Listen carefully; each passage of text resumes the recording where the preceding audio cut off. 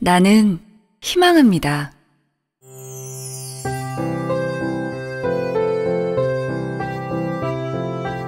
이 땅을 일구신 부모님들과 이 시대를 사랑하는 모든 이들이 희망을 말하는 나라.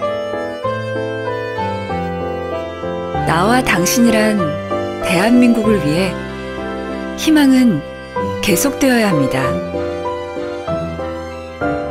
2012년 우리의 선택이었던 새로운 대한민국을 위해 희망을 이어나갈 수 있도록 국민 여러분께서 힘을 주십시오.